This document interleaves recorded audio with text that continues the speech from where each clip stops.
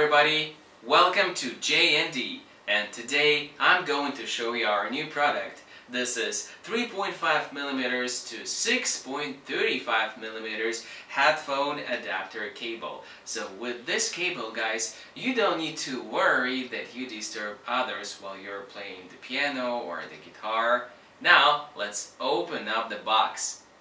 Now, alright, this is the box and this is the cable. Now I will demonstrate the cable to you. So this is guys 3.5 millimeters female and this is 6.35 millimeters male. So what can you do with this cable? You can connect the 6.35 millimeters to the guitar or to the piano or to other electronic instruments and then you can connect 3.5 millimeters to headphones in this way, you won't disturb anybody. Everybody's happy.